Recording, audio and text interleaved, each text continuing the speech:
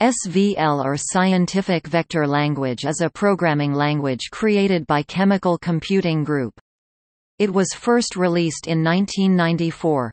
SVL is the built-in command, scripting and application development language of MOE.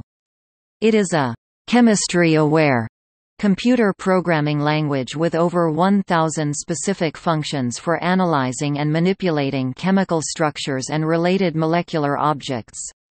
SVL is a concise, high-level language whose programs are typically 10 times smaller than their equivalent when compared to C or Fortran. SVL source code is compiled to a bytecode representation, which is then executed by the base runtime environment making SVL programs inherently portable across different computer hardware and operating systems.